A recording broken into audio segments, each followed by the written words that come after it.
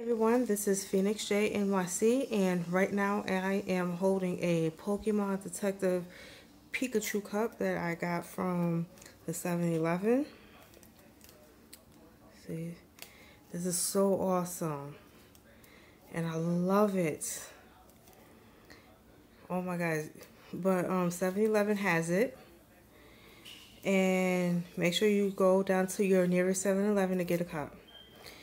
And also, everyone, please hit that like button and also subscribe to my channel. Thanks for watching.